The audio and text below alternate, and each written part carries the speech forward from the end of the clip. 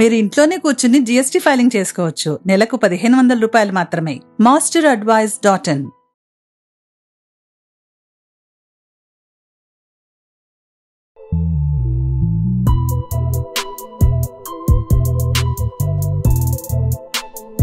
నమస్కారం డాక్టర్ బండి విశ్వేశ్వరరెడ్డి గారు.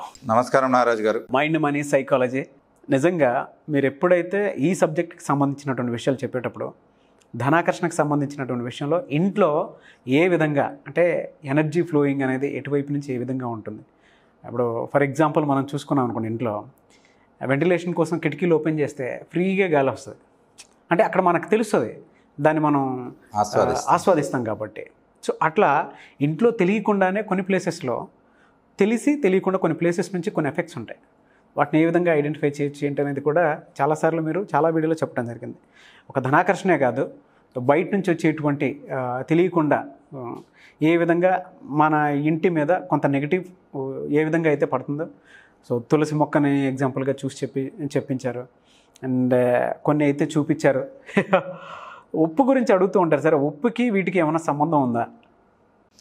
Shiva Om welcome to my home lucky home and Vedic Mahavastu. ఉప్పు అన్నది చాలా ఇంపార్టెంట్ ఎలిమెంట్ అన్నట్టు. ఉప్పు ఇప్పటిది కాదు కొన్ని వేల సంవత్సరాల నుంచి సనాతన ధర్మంలో ఉప్పుకు ఒక ప్రత్యేకమైన స్థానం ఉంది. ఇక్కడ ఇంతకుముందు మనం కొన్ని వీడియోస్లో మనం చెప్పుకున్నాం ఎవరైనా ఒక షాప్ ఓపెన్ చేశారనంటే వాళ్ళందరూ ఏమిస్తారు? ఉప్పు ఇస్తుంటారు అందరు. అవును. అంటే కిలో పది రూపాయలు ఉందనుకోండి ఉదాహరణకు ఉప్పు. అది ఒక్క రూపాయికి రెండు రూపాయల కంటే మినిమం రేటుకు ఇచ్చేస్తారు. అలా ఇవ్వడంతో ఏం జరుగుతుంది అని అంటే ఉప్పు ఎవరైతే వాళ్ళ నుంచి ఇంకొకరు చేతిలోకి తీసుకుంటారో వాళ్ళకు రుణపడిపోతారు. ఉప్పుకు రుణ బంధం అనేది కనెక్ట్ అవుతుంది. ఓకే. జనరల్గా ఇంట్లో ఉప్పు చేతిలోకి ఇస్తే గొడవలు అవుతాయని చెప్తారు. అవునండి.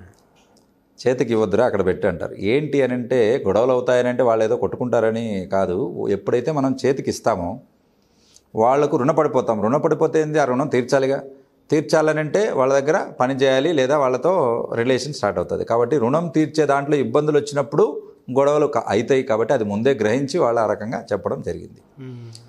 అయితే ఉప్పు నెగిటివ్ ఎనర్జీని తీస్తుంది మనకు ఆరోగ్యాన్ని కలగజేస్తుంది. నేను ఎన్నో వీడియోల్లో చెప్పడం జరిగింది. ఎక్కడైనా బయటికి వెళ్ళొచ్చారు మీరు ఒక పార్టీకో లేకపోతే ఒక ఫంక్షన్కో వెళ్ళొస్తే మీరు ఏమి చేస్తుంటారు? హాయిగా పోయి వెళ్ళి తిరిగి వచ్చుంటారు. కానీ ఇంటికి రాగానే అక్కడి నుంచి విపరీతమైన ఒళ్ళు నొప్పులు మనసు తర్వాత శరీరము చాలా ఇబ్బందిగా అసలు ఎంతో పని చేసినట్లుగా అలసిపోయినట్టుగా అనిపిస్తుంది. ఎందుకు అని అంటే because of that negative energy కాబట్టి ఈ న్యూరో సైన్స్ అనే దాంట్లో ఎప్పటికైతే మనం బయట తిరిగి వచ్చాక ఆ రకంగా అనిపించిందో వాళ్ళకు పిడికెడు ఉప్పు ఒకటి లేదా రెండు బకెట్లో వేసుకొని మీరు స్నానం చేయమని మనం చెప్తాం. ఇమీడియట్గా మీకు లైట్ ఫీలింగ్ అనేది వస్తుంది ఆ బాడీ పెయిన్స్ తగ్గిపోవడం జరుగుతుంది. ఈ ఉప్పు ఆ బాడీ ఎఫెక్ట్ను తీసి ఎలా చేస్తుందని మనం చెప్పుకున్నామో అదే దాన్నే అమెరికాలో కూడా హ్యాలోథెరపీ సాల్ట్ రూమ్స్ అని తయారు చేసుకున్నారు. సాల్ట్ రూమ్స్ అని. కొంతమంది అయితే ఏకంగా ఉప్పు గనుల్లోనే పెట్టేశారు.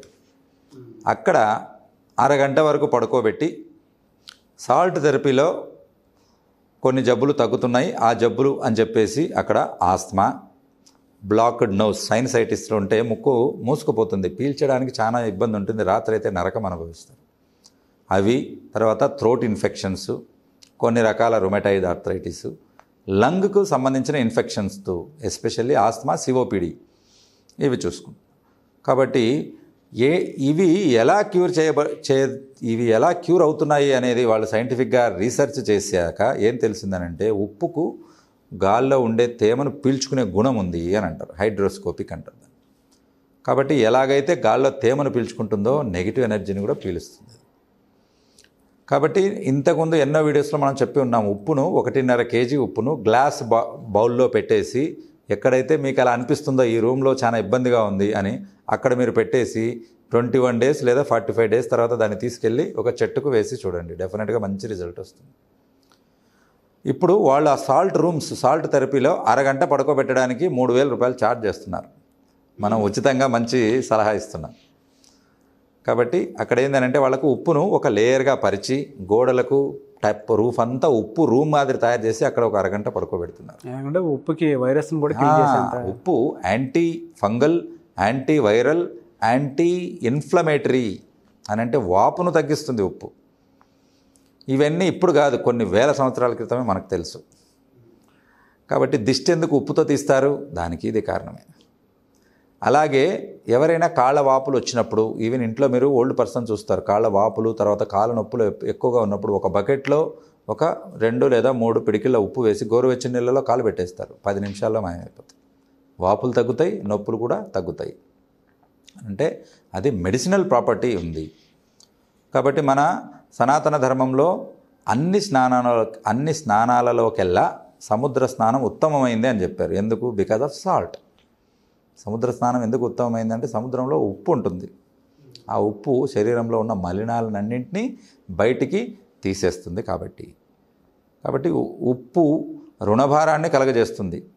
నమక్ హరామ్ అంటారు అంటే అరే నా ఉప్పు తిని నాకే అన్యాయం చేస్తావా అని చెప్పి చెప్తారు. అని అంటే ఏ ఇంటిలో అయితే వాళ్ళు ఫుడ్ తింటారో అంటే ఫుడ్లో ఉప్పు కలిపి తింటారో ఆ ఇంటికి అన్యాయం చేయకూడదు అనేది కూడా మన శాస్త్రం చెప్తుంది. అని అంటే వేరే వాళ్ళకి చేయమని కాదు ఎవరికీ అన్యాయం చేయకూడదు. కానీ వాళ్ళకు అస్సలు చేయరాదు. ఎందుకనంటే ఉప్పు తింటే మనం రుణపడిపోతాం వాళ్ళకి. కాబట్టి వాళ్ళకు ఇంట్లో ఉప్పు తినంటే వాళ్ళు పెట్టిన ఫుడ్ తిండి తిన్న ఇంటి వాసాలు లెక్కించకూడదు అని అంటే వాళ్ళకు చేయకూడదు అని అంటే మనం నీడనిచ్చిన చెట్టునే నరికినట్లంత పాపం వస్తుంది అది. కాబట్టి అక్కడ చాలా జాగ్రత్తగా. అందుకోసమనే ఇది పెట్టడం జరిగింది. ప్లస్ చాలామంది కూడా సంపాదించిన డబ్బు విపరీతంగా డబ్బు ఖర్చు అయిపోతుంది. మిగలట్లేదు. అనే వాళ్ళకు ఉప్పుది కూడా ఒక ఉపాయం ఉంటుంది. ఫస్ట్ మీరు ఆన్లైన్ ట్రాన్సాక్షన్స్ అన్ని తగ్గించుకోండి. ఒక లక్ష రూపాయలు జీతం వచ్చిందనంటే ఇంటికి పదివేలు పట్టుకొచ్చి తొంభై వేలు అక్కడి నుంచి అంతా ఆన్లైన్ కొట్టేసి తీసుకొస్తారు. అది తప్పు. యాభై వేలు కనీసం డ్రా చేసి ఇంటికి తీసుకురండి. తీసుకొచ్చి ఆ డబ్బును కేజీన్నర ఉప్పు మీద పెట్టేసి ఇంట్లో పెట్టండి. ఒక వన్ డే. రైట్? పెట్టాక కావాలని అంటే మీకు అప్పుల వాళ్ళకి ఇస్తారా మీ ఖర్చులు చేసుకుంటారా మిగతా ఇవ్వండి మీరు ఖర్చులు తగ్గిపోతాయి. ఎందుకు అలా తగ్గుతాయి ఖర్చులు అని అంటే వేస్టేజ్ను నివారిస్తుంది ఇది. అంటే వృధా ఖర్చులను తగ్గిస్తుంది. ప్లస్ అందులో రుణభారాన్ని కూడా తీసేస్తుంది కాబట్టి అప్పులు కూడా తగ్గిపోతాయి. ఆ రకంగా. కాబట్టి ఆ డబ్బులో ఉన్నది ఎస్పెషల్లీ ఇంకొకరు రోజువారీ ట్రాన్సాక్షన్స్ కొన్ని ఉంటాయి. కిరాణా షాపులు అవి రోజు డబ్బు తీసుకుంటారు ఇస్తుంటారు తీసుకుంటారు ఇస్తుంటారు. అటువంటి వాళ్ళల్లో ఈవినింగ్ వచ్చిన కలెక్షన్ ఏదైతే ఉంటుందో దాన్ని కూడా మీరు నైట్ అంతా ఉప్పు మీద పెట్టండి. ఎంతమంది చేతులు మారుంటుంది ఎక్కడెక్కడి నుంచి వచ్చి ఉంటుందో ఆ డబ్బు కూడా అక్కడ పెట్టినట్లయితే మెడిసినల్గా కూడా అందులో ఉన్న బ్యాక్టీరియా వైరస్ చనిపోతాయి ఓకే. ప్లస్ ఆ డబ్బు కూడా వృధా ఖర్చు కాకుండా మనకు వృద్ధిలోకి రావడానికి ఉపయోగపడుతుంది. కాబట్టి ఉప్పుతో ఎన్నో ఉపయోగాలు. ఎన్నో పరిహారాలు. ఇలా ఎన్నైనా చేసుకోవచ్చు. ఒంటిలోంచి ఇంట్లోంచి కూడా ఎనర్జీ నెగిటివ్ ఎనర్జీని తీసివేసే సత్తా ఉప్పుకుంది. అందుకే మనం ఫస్ట్లో చెప్పుకున్న వీడియోస్లో అనేకం చెప్పుకున్నాం. ఉప్పు ఇంటి నుంచి క్లీన్ చేయడానికి ఒక్క శుక్రవారం మాత్రం పసుపుతో మిగతా రోజులన్నింటిలో ఉప్పుతో క్లీన్ చేయమని చెప్పి చెప్పాను కాబట్టి ఉప్పుతో నీళ్ళతో కడిగితే ఇంట్లో నెగిటివ్ ఎనర్జీ పోతుంది. అక్కడ మళ్ళీ చెప్పుకో బ్యాక్టీరియా యాంటీవైరల్ యాంటీఫంగల్ అన్నీ ఉంటుంది కాబట్టి మొత్తం తీసే ఓకే మీరు చెప్పింది కరెక్టే సార్. వాస్తుకి దానికి ఎటువంటి సంబంధం ఉంది? అండ్ సైంటిఫికల్కి సైంటిఫికల్గా మీరు చెప్పినటువంటి reason anti inflammatory anti fungal తర్వాత యాంటీ బ్యాక్టీరియల్ కూడా ఉంటుంది. వేదిక్ మహావాస్తు దీనికి ఏం చెప్తాను సార్? వేదిక మహావాస్తు ఉప్పుతో ఎన్నో పరిహారాలు మనం పొందగలుగుతాం. ఎక్కడైతే నెగిటివ్ ఎనర్జీ ఉందో మనకు అనిపిస్తుందో ఆ రూమ్లో చాలా ఇబ్బందిగా అనిపిస్తుంది. ఆ రూమ్లో పడుకోవడం కాదు కూర్చోవడానికి కూడా ఇష్టం ఉండదు. అక్కడ మీరు వన్ అండ్ హాఫ్ కిలో ఉప్పు మీరు ఒక ప్లా ట్రాన్స్పరెంట్ గ్లాస్ బౌల్లో మీరు అక్కడ పెట్టేసేయచ్చు. మనము సిక్స్టీన్ జోన్స్ ఏదైతే మనం చెప్పుకున్నామో వేదిక మహావాస్తులో ఎక్కడైతే డిఫెక్ట్ ఉంటుందో ఆ డిఫెక్ట్కు రెమెడీస్లో ఈ ఉప్పు కూడా ఒకటి. కాబట్టి ఈ రకంగా కిచెన్లో వేదిక మహావాస్తు ఏం చెప్తుందనంటే ఉప్పును పసుపును రెండు పక్కపక్కలో పెట్టరాదు. ఉప్పును పసుపును పక్కలో పెట్టరాదు. పసుపు మనకు లక్ ప్రాస్పరిటీ అబండెన్స్ ఇస్తుంది. పసుపు అనేది మనకు. కాబట్టి ఉప్పును పక్కన పెట్టినట్లయితే ఈ నెగిటివ్ ఎనర్జీ మళ్ళీ దాంట్లోకి వెళ్ళే అవకాశం ఉంటుంది. కాబట్టి రెండు పక్క పక్కన కాకుండా వేరే వేరే అల్మారాలో కానీ వేరే వేరే గూట్లలో కానీ పెట్టవలసి ఉంటుంది. నెక్స్ట్ వచ్చేసి ఉప్పు శరీరానికి తీసుకునేటప్పుడు కూడా సాధ్యమైనంత వరకు రాక్ సాల్ట్నే మీరు తీసుకోండి. అయోడైజ్డ్ సాల్ట్ కాకుండా. అయోడైజ్డ్ సాల్ట్ తీసుకోవాల్సిన అవసరం కేవలం భారతదేశంలో రెండు రాష్ట్రాలకే ఉంది. అది హిమాచల్ ప్రదేశ్ పక్కన. ఆ హిమాచల్ ప్రదేశ్ నుంచి వచ్చిన నీరు వాడే పక్క రాష్ట్రాలకు ఒకటి లేదా రెండు. అటువంటిది ఈ కార్పొరేట్ స్టైల్లో రెండు రూపాయలకు దొరికే ఉప్పును ఇరవై రూపాయలకు అమ్ముకోవడానికి వాళ్ళు అయోడైజ్డ్ సాల్ట్ అని చెప్పి దాన్ని కెమికల్ ప్యూరిఫికేషన్ అంటే క్లోరిన్తో వాష్ చేసి వాటికి ఎక్స్ట్రా అయోడిన్ యాడ్ చేయడం జరుగుతుంది. అయోడిన్ యాక్చువల్గా ఎక్స్ట్రా తీసుకోవాల్సిన అవసరం లేదు. మనకు కావాల్సిన అయోడిన్ కూరగాయల్లో న్యాచురల్గా దొరికే సముద్ర ఉప్పులోనే ఉంటుంది అది. ఓకే. కాబట్టి వాటిని ఎక్స్ట్రాగా తీసుకోవాల్సిన అవసరం లేదు. ఎప్పుడైతే ఎక్స్ట్రా అయోడిన్ మీరు తీసుకుంటారో థైరాయిడ్ ప్రాబ్లమ్స్ రావడం జరుగుతుంది. ఒకప్పుడు ఎప్పుడైతే సముద్రపు ఉప్పు వాడేవాళ్ళు అప్పుడు థైరాయిడ్ ప్రాబ్లమ్స్ లేవు. పంతొమ్మిది వందల ఎనభై ఆరు తర్వాత ఈ ఉప్పు ఇంట్రొడ్యూస్ అయింది అయోడైజ్ సాల్ట్. ఇప్పుడు వంద మందిలో ఇద్దరు పది ఇరవై మందికి జబ్బు ఉంటే వంద మందికి మనం వైద్యం చేస్తామా? చేయం. మరి మరి అయోడైజ్డ్ సాల్ట్ ఎందుకు దేశమంతా వాడుతున్నారు? నేను నా ఇంటిలో రాక్ సాల్ట్నే మిక్సీ కొట్టి అదే ఉప్పు వాడతాను. తర్వాత సైంధవ లవణం రెండోది రాక్ సాల్ట్. ఇవి తప్ప సన్న ఉప్పు వాడనే వాడం. కాబట్టి దయచేసి దాన్ని పక్కకు పెట్టండి. ఎందుకంటే దాంట్లో క్లోరిన్తో తెల్లగా నిగనిగలాడడానికి మలినాలు పోవడానికి అని చెప్పేసి వాడతారు. మరీ ఘోరంగా ఉప్పు ఎన్నో మలినాలు ఉంటాయి అవి తీసుకునే దానికంటే శుద్ధి చేసి వాడండి అని చెప్తారు. ఎన్నో మలినాలు ఏమి ఉండవు ఉప్పు. న్యాచురల్గా సముద్రపు నీటి నుంచి వస్తుంది. ఒకవేళ ఉన్నా నీటితో కడిగేస్తే పోతుంది. అంతేగాని వాటి కోసమని కొత్త జబ్బులను కొని తెచ్చుకోవడం అనేది అస్సలు మంచిది కాదు. ఇలాగా ఉప్పుకు ఒక క్లాస్లో చెప్పేది కాదు. ఎన్నో క్లాస్లో చెప్పుకోవాల్సిన సబ్జెక్ట్ ఉప్పు అన్నది. అయినా మీరు ఈ ఉప్పు యొక్క గుణగణాలు తెలుసుకుని వాటిని మన ఇంట్లోంచి నెగిటివ్ ఎనర్జీ వెళ్ళడానికి ఆ ఇంట్లో సుఖశాంతులు అష్టైశ్వర్యాలు నిండిపోవడానికి ఈ ఉప్పును వాడుకోండి. ఆ ఇంటిని లక్కీ హోమ్గా మార్చుకోండి. శివ ఓం. ఇక్కడ బిఎంఈటి పవర్ ప్యాక్ క్లాస్ అన్నది జనవరి తొమ్మిదవ తారీఖు హైదరాబాద్లో విజయవాడలో జనవరి ఇరవై మూడవ తారీఖు విశాఖపట్నంలో జనవరి ముప్పైవ తారీఖు కండక్ట్ చేయడం జరుగుతుంది. ఈ క్లాస్లో మనకు మన చుట్టూతో ఉన్న వ్యాపార అవకాశాలను మనం ఎలా గుర్తించాలి? గుర్తించి వాటి నుంచి సంపద సృష్టించుకోవడానికి ఎలాంటి స్టెప్స్ మనం తీసుకోవాలి? Money attraction money affirmation money visualisation అన్నవి ఎలా వర్కౌట్ అవుతాయి? అవి ప్రాక్టికల్గా ఒక వన్ అవర్ సెషన్ చేసి అక్కడ చూపించడం జరుగుతుంది. అది కూడా పవర్ మెడిటేషన్ చార్ట్ యొక్క సహాయంతో. అది కూడా ఈ క్లాస్ అటెండ్ చేసిన వాళ్ళకు పూర్తిగా ఉచితంగా ఇవ్వడం జరుగుతుంది. వీటితో పాటు హొరా చార్ట్ కూడా ఇవ్వడం జరుగుతుంది. గుడ్ టైం బ్యాడ్ టైం తెలియజేసే హొరా చార్ట్.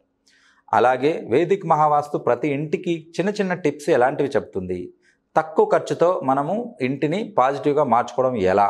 ఎనర్జీని ఇంబ్యాలెన్స్ అయిన దాన్ని బ్యాలెన్స్ చేసుకోవడం ఎలా? అన్నది చెప్పడం జరుగుతుంది. అలాగే ఈ క్లాస్లో మీరు సంపాదించుకున్న డబ్బును సంపదగా ఎలా మార్చుకోవాలి? అని అంటే కొంతవరకు మీరు సంపాదించే ఆ సంపాదించిన డబ్బు మీకోసం సంపాదించాలంటే మీరు రిటైర్మెంట్ అయినా కూడా మీకు నిరంతరం ధన ప్రవాహం వచ్చేలా ఎటువంటి ఇన్వెస్ట్మెంట్ ప్లాన్స్ చేసుకోవాలన్నది కూడా ఈ క్లాస్లో చెప్పడం జరుగుతుంది. మరి ఇంకెందుకు ఆలస్యం? ఇంట్రెస్ట్ ఉన్నవాళ్ళు కింద కనపడిన నంబర్లకు కాల్ చేసి రిజిస్ట్రేషన్ చేసుకోవచ్చు. హైదరాబాదు విశాఖపట్నం విజయవాడ మీ ఏరియా పేర్లు చెప్పి. Shiva. Om thank you sir. Thank you so much. Thank you Usha గారు. Thank you Suman TV and thank you viewer Shiva Om thank you sir thank you so much మిగిలిన పిత్త కఫాను మనము next వీడియోలో తెలుసుకుందాం. శివ ఓం